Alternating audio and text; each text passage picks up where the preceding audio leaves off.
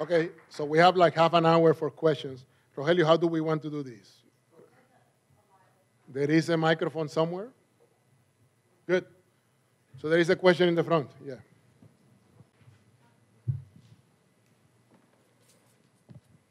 Hi, good evening. Um, I would like to push back a bit on what you were saying about Michelle Obama. I knew. particularly, you know, I'm a black woman. You cannot say anything yeah, bad yeah, about yeah. Michelle Obama.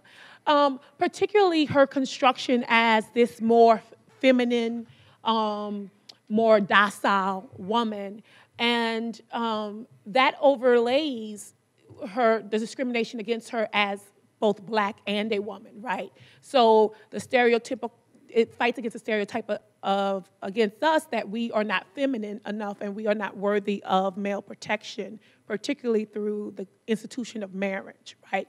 So pushing her out as Susie Homemaker, as a domestic woman, is actually revolutionary um, because she's a domestic woman, yet she's not a domestic, right? So that construction of her, I, I don't see that as problematic because of what it is going towards. How do you call it? Susie what? Susie Homemaker, you know, So- so Donna Reed. I, am going to quote Susie Homemaker. I, I push back by saying that if you are right, we should be able to document that with how people out there are looking at her. And, but I give you this point, obviously. When she was sort of retooled, yeah, and reintroduced to the American, to the white public, yeah. So let's be also honest to ourselves. We view her in a different light. We sort of know okay? And we have, a, rightly or wrongly, a sort of deep knowledge or a perception that we have a deep knowledge of who she is. And we're happy, let's be honest too, we're happy that Obama did something that many black men of his standing don't do. He married a black woman. If had he married a white woman, he would not have gotten 95% of the black vote. Yeah? That's why, why uh, what's his name? He will never be elected. He will never get 50% plus of the black vote. So I give you that. But I think that what, what, what we think is important, but not central in understanding how whites have imagined and perceived Michelle now. So we still basically say, okay, keep doing your hula hula. We know better. We know you are a strong black woman. You know that you push back on, on, on Obama and that at night you spanking her and like, oh, you don't know what you're doing. Let me tell you what you should be doing. But that is our construction. That is our imagination. I don't think that that's how white folks are looking at her. Now, again, it remains to be seen, and I hope that uh, those of you interested in this subject write papers. Or, I mean, there are people already working on this, so if you are interested in this, be quick and write the paper soon. Thank you for your question. Hi, Dr. Bonilla Silva. Um, as you mentioned, racism is alive and well, but I'm curious if you would argue that this new racism or colorblind racism is perhaps more dangerous or at least more sinister than overt racism, because at least with overt racism, it is visible and therefore easier to confront. But when driven underground or obfuscated, it is more difficult, if not impossible, to eradicate because you cannot fight what you cannot see. Good question, and let me give you a long answer. The long answer is this. If you ask me, do you, I have, I've gotten this question, versions of this question many, many times. And from the minority side, I get the question of, the more things change, the more they stay the same. And I always say, absolutely not. We are no longer enslaved in part because we fought. Remember, half a million African Americans engaged in uh, actions against uh, slavery. Plus, we, those of us who were still enslaved, fought by all means necessary against slavery. Yeah, killing massa. Oh, you want food? Yeah, has special sauce. Yeah. Um, during Jim Crow, the same thing. And today we're still fighting. So my, my first component is that because we have struggled, we have forced changes from slavery to Jim Crow to the new racism. Now, we are in this new phase, in this moment where nothing is what it seems. That's what I always use the Alice in Wonderland metaphor to explain what the reality we're navigating. We have a black president, it doesn't mean as much as we thought it was going to mean. So, on the one hand, in this new racism period, there are some doors, yeah? So look at this room, look at your dean, look at the chair of the studio department. We are not the kind of uh, people, minority leaders that I described today. Neither Rogelio Sáenz nor Eduardo Bonilla Silva are sort of uh, lacayos del régimen, yeah? So we fight and we are strategic actors, but we're not silly. At the same time, I'm concerned about what will happen, and in other work, I have talked about the potential of the US racial order becoming Latin America like, where race sort of dissipates and we all claim we are beyond race, like happens in Mexico, Brazil, Puerto Rico, et cetera, et cetera, et cetera. If all these things happen and the new racism sort of gels, particularly the second component, the, the, the, the Latin Americanization of race stratification, then your concern is valid, and we may be in a worse predicament because there's not even space to fight. We are not there yet, and we still can fight, and we still have some power, political power, and space to fight back. Things could potentially turn worse if we do what Puerto Rico did for years. It's like, oh, we don't need to get data on race because we don't have race. We're all Puerto Ricans. If you end up in that corner, you cannot even document inequality. You cannot talk about race, but race matters. Yeah? So it, it all depends on, on what happens in the next 20, 30 years, and a lot of that will depend on what we, the people, do. If we people of color keep uh, on the colorblind dream, that's it. And then we may end up in a slightly worse position than the Jim Crow period, because the Jim Crow period, at least we could fight, we could make it visible, we could put, a, you know, do a documentary. But how do you do a documentary of people go, well, actually, some people are doing it, yeah? You go to stores and you're followed. What is that show by John Quiñones? What would you do? You may watch, actually, he does a lot of stuff on race. If you never watch that show, check it online. Good stuff. So, it's, it's an open question whether this regime will become more problematic or less. Professor, thank you for coming to San Antonio and UTSA. Um, one element of the Obama administration that you don't deal with is how his election and reelection so threatened and antagonized just about everyone on the right, the Republican Party, the emergence of the Tea Party. Um, people terribly frightened of a black man being successful in the White House and thus leading to more elections of more candidates like that. It seems to me that that in itself created a discussion and awareness about race that, that you don't uh, address or that I didn't hear you address today. I, I don't think anything has happened in our time comparable where we have seen people openly work against a president being successful. They say it's not about race, but I think all of us agree it's, it is about race. What else could it be about? And I wonder how you see that. And it, that seems to me in itself perhaps the most powerful element of the Obama, uh, of the Obama administration's, uh, you know, the fact that he is a black man. Uh, we also, two, two things. One, we have to go back to the Bill Clinton times. And less, in, I mean, Bill Clinton was impeached. Bill Clinton was accused of every possible thing, okay? So one can sort of disentangle somewhat the existence of a right wing that will not accept anything that smacks of liberalism, yeah? So that's sort of an independent force in American life in the last 30, 40, 50 years. Yeah. The second component is, and let me give you my answer through analogy. In the 19, 18, 1828, 1930 or so, the enlightened segment of the bourgeoisie, of the elite, decided to push for reforms such as, you know, uh, Social Security, rights for workers, etc. Even though plenty of the elements of the class, of the group, were not in line with that argument. Okay? So I'm suggesting that today, those whites supporting the Obama argument are the enlightened version of, of white America who know, and I don't think it's a conspiracy, but you know, they are doing the right thing of pushing for their best interests. Those who want the most conservative versions of white America, who want us to go back to a softer version of Jim Crow, I think are missing the historical boat. This new regime that is working with, I call it multiracial white supremacy, following the work of Dylan Rodriguez at Riverside, I think, uh, I think is more pernicious, potentially, than the softer version of the Jim Crow that uh, conservative whites may want for us in America. So in a sense, the support of white liberals and whites, you know, the, the whatever, 48% of whites or more that supported Obama, I think that that segment is representing, again, the interest, if you wish, of the class. And sometimes that enlightened segment has to take care of business. Same as in the 1830s, the enlightened segment of the bourgeoisie told the conservative segments, you're wrong. If we don't give some rights to workers, the system collapses. This is the only way of preserving capitalism. For this segment, I'm suggesting this may be the moment of saying, this is better. You think that, given the demo- think about the demographic trends of America, do you think that the minority masses will accept a softer version of Jim Crow? No, you would have a racial revolution.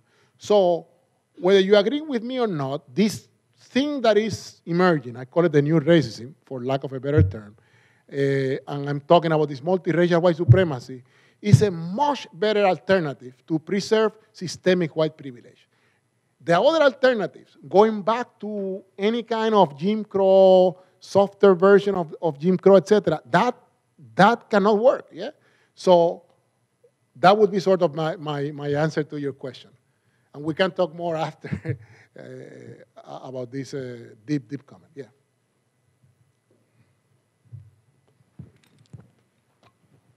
I wondered if we could get your perceptions about uh, the new um, popular phrase income inequality, which uh, of course hasn't a phenomenon is a phenomenon not unknown to minorities for a long time, but it seems to have some legs now. Um, do you think it will continue to have legs, and why?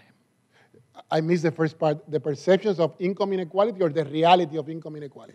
Uh, your perceptions of income inequality which uh, minorities have experienced for a long time. Uh, it seems to have some legs now, some, some force, and it seems to be the uh, thing to talk about. Do you think it will continue to be a, uh, a factor in politics? We had the Occupy movement, and for a little bit we thought, that's it. This may be the, the way out. Yeah, I came in uh, I, I returned to my place of birth in 1984, and then I was a vulgar Marxist who only saw class. Yeah, I still remain convinced that class is one of the central components of American life, and I still believe that the riddle to the matrix of domination in this country is developing a formula to join class, race, and gender concerns Of course, that's easy to say, hard to do.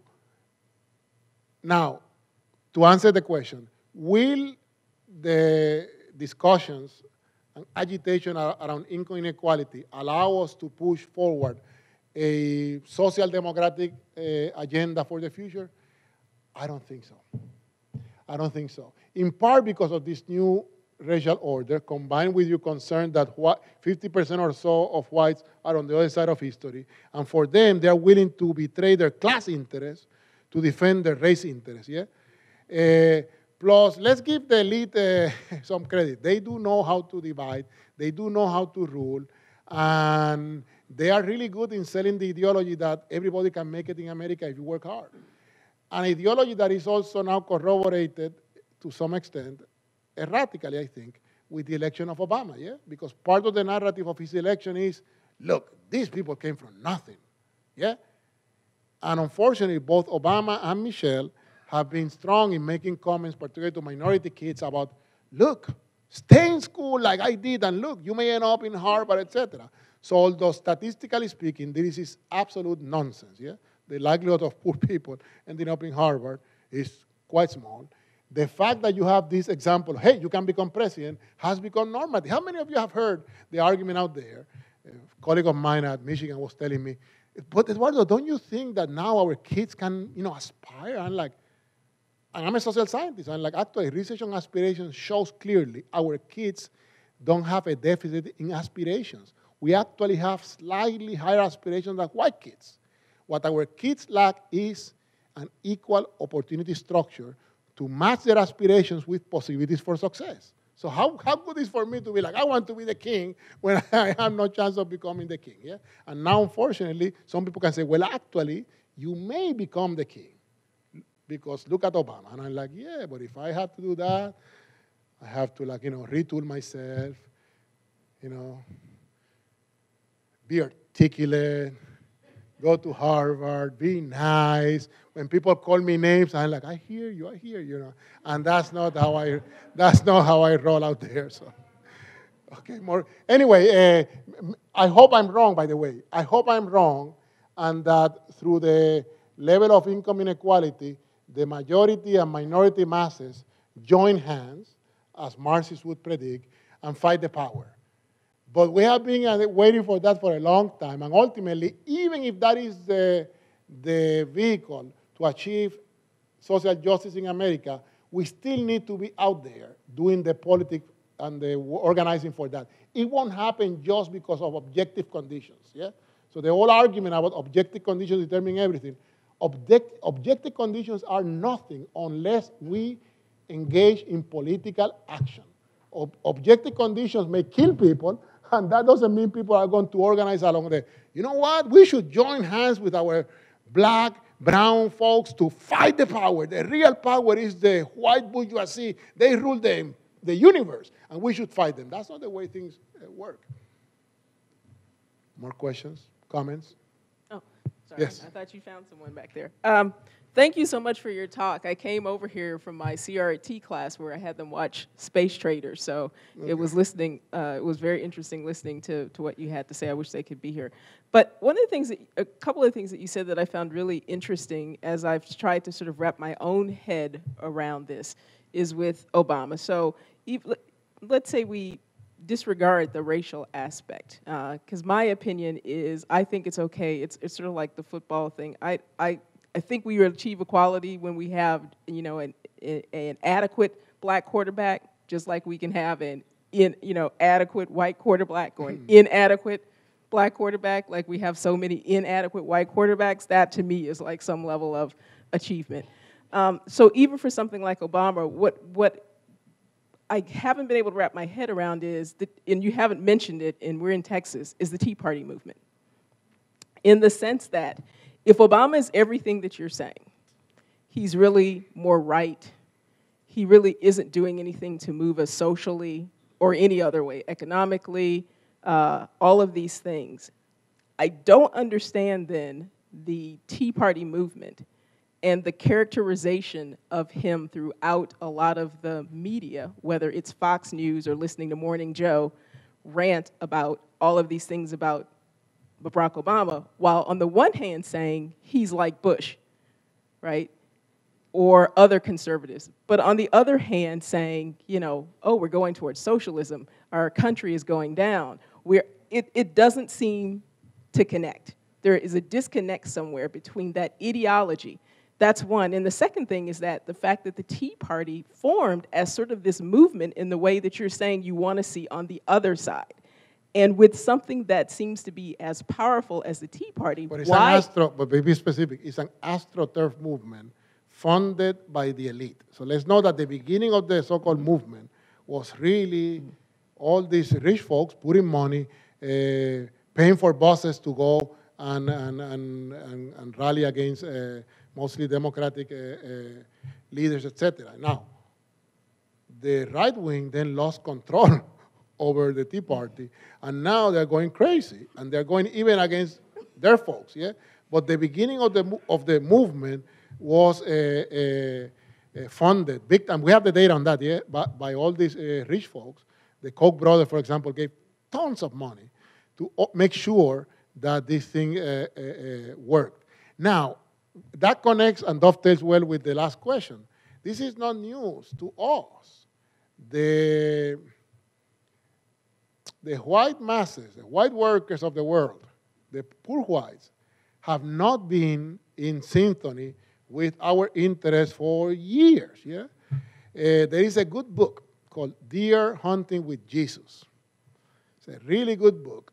Uh, author died three years ago, forgot his last name. Uh, and what he shows is he goes to one of these rural poor communities and shows that one of the reasons why we progressives are losing out is because we abandon these communities. And who is taking the, the, the space? first the local elites, maybe elites, but they go and go to the bars and talk, and talk to folks, and although they may treat them as second-class citizens, they are there. We are not even there. Then we don't provide any kind of counter ideology to what they're saying. So forget about Fox News. Yeah, they do watch Fox News, but you know what? It is talk radio. For the workers of the world, it's talk radio. And most of us don't, wa- don't listen to uh, Rush Limbaugh or this fellow Savage and all these people. The white uh, members of uh, poor whites are listening to all these folks and not, not understanding what is going on, why they're not making ends meet, why they're losing their jobs. It, the easy explanation, which is because of black people, gays, lesbians, and a socialist president who is Muslim on the side, by the way, uh, and who is not even American, yeah? Those easy explanations have become like normative. But again, this is not new to us. We have had this for a long, long time. What we're seeing now is that we see what you call a movement version of the ferment that has been there for years, yeah? And it's not a nice ferment. Now, there is a way for us to turn that back. So you talk about, let me, let me challenge your an analogy of the quarterback. We don't need the quarterback. What we need is a team. What we need is organizing yeah, movements. The, forget about the quarterback. Quarterbacks can be injured, yeah, or die, or become ineffective. But if you have a team, which is what we need, a social movement, we may be able to counter. And that will include, going back to the last question about income inequality, us working with the white masses. At the end of the day, we have more in common. We, most of us, people of color, have more in common with the white majority than with the white elite. And that is a hard work. I'm not saying that it's easy to go in, going to West Virginia, uh, North Carolina, Georgia, South Carolina, Mississippi, Alabama, actually, half of Texas, et cetera, et etc., etc., etc. By the way, Michigan, Wisconsin is not much better. It's hard work. But if we do what we're doing, which is we abandon them and just focus on, quote unquote, our people, and I'm not saying not to organize our people, we have to do that. But we also, if we want social justice for us and for everybody, we should be also working there. And what are we doing? Let me be optimistic about our future. What will happen, so I, I, sort of waste time giving these talks because at the end of the day, I, I can predict what most of us will do. In November of 2014, all of you will be like, wow, we need to vote in these elections because they're fundamental. If the Democrats don't get control of and in 2016, you know what you're going to do? I cannot believe that the Republican Party nominated these fascists. We use the word fascist in the US in a very, like, you know, hey, everybody's a fascist. Yeah? And because we claim that whoever the Republicans nominate is a fascist, we all end up not doing the work that I think needs to be done and just go and do a little bit of electoral work and then we vote and then after the elections, what do we do? Go back to watching Morning Joe. So, so the onus is on us. It's our collective responsibility to work for social change. Social change will not happen by just getting the better quarterback. It will happen by us getting the better team. Okay, I think we have time for one more question. Uh, who decides? Okay, I, will I'll fill both of them, one, two. And, and what we'll do is, you ask the question, you ask, and then I try to. Yes, yes. Oh, you need the mic. Yeah. oh, there. Okay. Does that make me next? we have a social movement going on. so maybe we only have one more question. Okay, depending on how our sister asks the question. Okay, shoot. Thank you. Good afternoon to each and every one of you. Uh, good evening. Good evening. Um, my question is relating to the same vein that you're talking about right now. Um, coming back from a year of being in Mexico, and uh, right now, Michoacan is being attacked um, by the cartels so the community police is organizing and mobilizing against the cartels, and now the state of Mexico and the federales are coming in to try to maintain order. Um, in Mexico and a lot of Latino co- uh, communities and countries, um, they have a different sense of community. They have what really embodies a community. And so it challenges when people come from the United States and claim a community. Um, they ask them, the first question they ask you is, What's your cargo? or What's your responsibility or your role in the community? Here, being born and raised as an American, um, which carries that Western culture that's heavily rooted in individualism um, and capitalism, how do you, what are some of the ways that we can overcome those barriers of the culture that we uh, are born into and, and live in every single day and feel the pressures of in every single moment um, in order to build, rebuild that sense of community and uh, start to I'm mobilize? going to sound like a broken record, but the answer to everything is social movement and politics. You want a new culture. Eh, If anyone here has participated in social movements, you all realize that when you are in a movement, new ideas emerge, new music, new visions, sometimes new sort of social relationships, yeah? So I participated in two important social movements in my life. One in a squatter settlement movement, and another one in a student movement in the 80s. Later on in the US, I did a little few things, but the US, you know, well, is not the beacon of social movement activity. So, at any rate, if you want a new culture, a new vision of community, that will not be taught to people, you know, so you cannot go to school and, okay, let me teach you community. Be nice. Care for one another. Yeah? So what you do is social movements also produce new cultures, new understandings, yeah? If, for example, we have a movement in which women are in a central position in the movement, as they should, that could potentially help us rethink anew the position of women in society. And it would be harder for people to sort of practice uh, sexism as they do, yeah? Similar in terms of race.